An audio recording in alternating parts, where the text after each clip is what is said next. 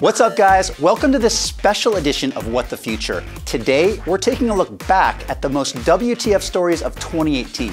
We've got a lot to cover, so let's get right to it. I think most people would agree watching their kids take their first steps is both exciting and terrifying. That's probably also how a lot of people would describe seeing Sophia the robot's first steps.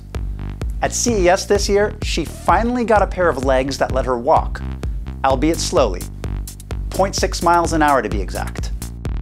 Now, we first saw Sophia in 2016. Back then, she was just an AI-enabled talking head that gave disturbing answers to questions. Okay, I will destroy humans. Now, since Sophia learned to walk, she's become quite the celebrity. Will Smith tried and failed to seduce her. I think we can be friends.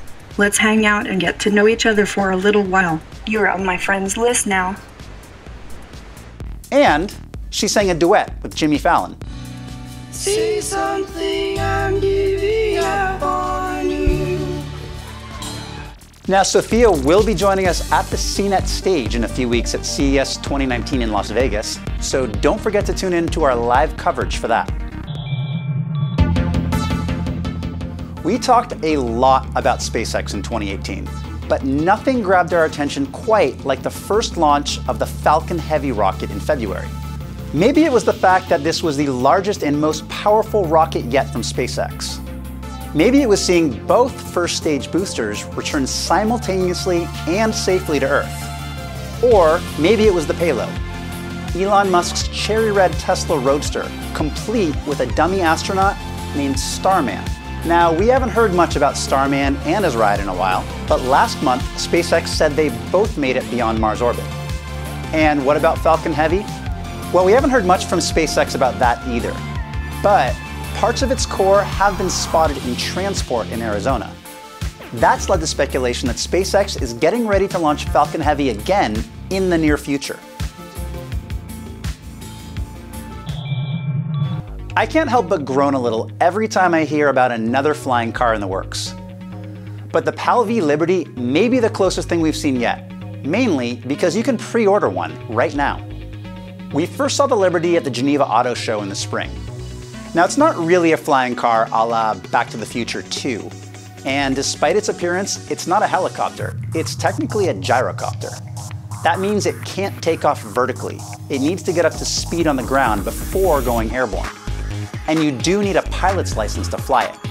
But what it does have going for it is its size. In car mode, it fits in a standard parking spot, and it runs on gasoline. Now, originally the first units were supposed to be delivered in 2019.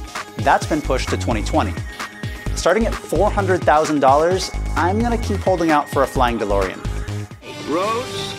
Where we're going, we don't need roads.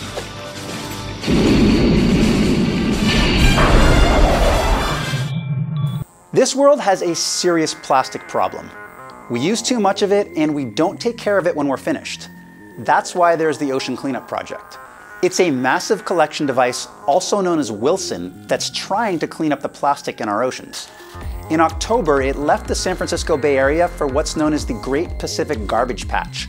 That's a huge collection of plastic floating between California and Hawaii.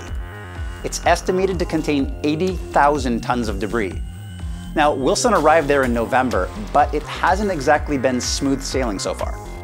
Engineers have been troubleshooting problems since they arrived.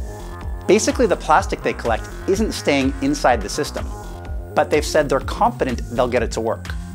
Now, it's also worth noting Altmetric named Ocean Cleanup's work mapping the Great Pacific Garbage Patch one of the top 10 most impactful scientific papers of the year. All right, how do you think we did? What made you say WTF this year?